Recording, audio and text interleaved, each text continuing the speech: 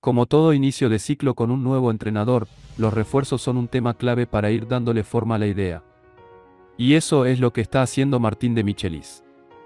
Por eso en River pisaron el acelerador y ya comenzaron a negociar con Talleres para quedarse con una de las figuras del equipo cordobés.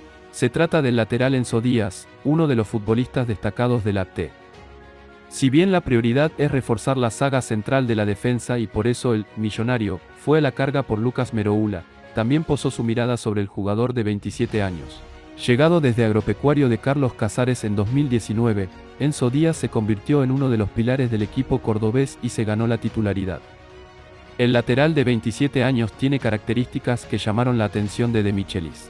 ¿Cuáles son estas virtudes? Además de ser firme en la marca, es un futbolista que se proyecta muy bien en ataque y que hasta también se podría adaptar a jugar como marcador central teniendo en cuenta que River tiene a dos laterales por izquierda como Milton Casco y Elías Gómez. ¿Te gustaría verlo con la de River?